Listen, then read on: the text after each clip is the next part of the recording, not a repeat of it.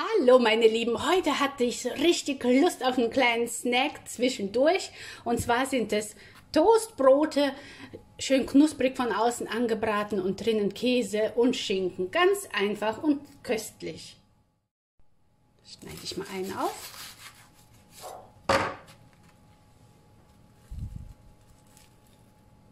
Mmh.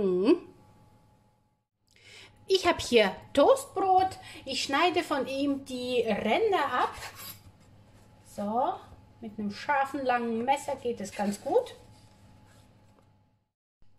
Jetzt brauchen wir Schinken. Ich habe äh, Rinder, Roastbeef. Alles geht super. Salami vielleicht nicht, aber würde wahrscheinlich auch gehen. Schaut mal so, da drauf. Und nun Käse drüber. Ähm, ich habe heute Emmentaler. Ähm, irgendwelche so alte Käse, also die etwas länger reifen. Gouda würde auch sehr gut dazu passen. So, Käse. Jawohl. Södele. Toast drauf. Schaut mal, in der Pfanne habe ich etwas Butter schmelzen lassen, gebe die Sandwiches darüber.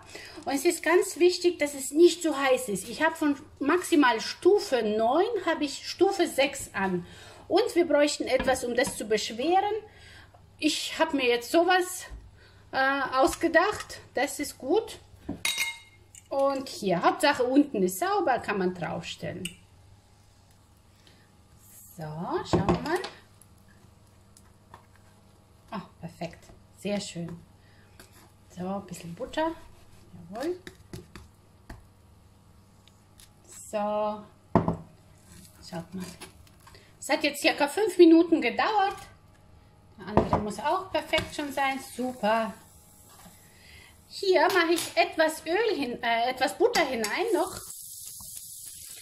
Und vorhin habe ich ja die ähm, Ränder abgeschnitten. Jetzt habe ich sie etwas kleiner geschnitten.